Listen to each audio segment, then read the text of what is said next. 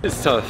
It's tough. You know, um, you know, we prepared and we fought hard. I think it was a quick turnaround because we just uh, just played, but at the same time, you know, I think we're showing a lot of a lot of good stuff.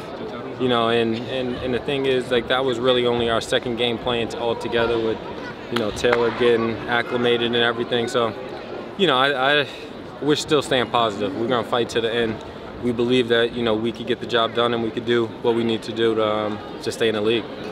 You know, and, and the thing is, I, I, I think we have to take also take into account that's a really talented team. You know, that's a good team. Like, I, you know, it's, it's not like, you know, they didn't, you know, what, win the win the league last year, or no, uh, co-champion last year. So you know, it's it's a good team, good players, but you know, I, I think we're gonna we're gonna we're gonna get it and we're gonna finish our games. Uh, I think the lapses. You know, we go and we play great, and then uh, we have like a spurt of like a couple minutes where we play bad, and then the team comes back. You know, we were just we were up by 10, 10 points at one point and then um, they came back and they took the lead. They went into halftime by, up by 10. So I think just kind of cutting those lapses of, you know, um, those bad lapses of, you know, not playing the way that we want to play.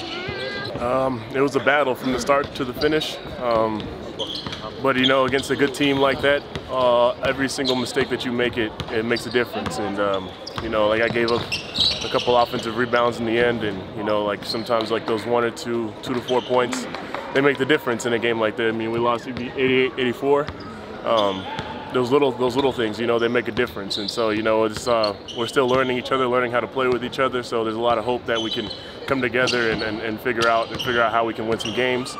Um, but yeah, it was tough. It was tough. It was a battle, uh, and after a battle, you lose. It, it, always hurts.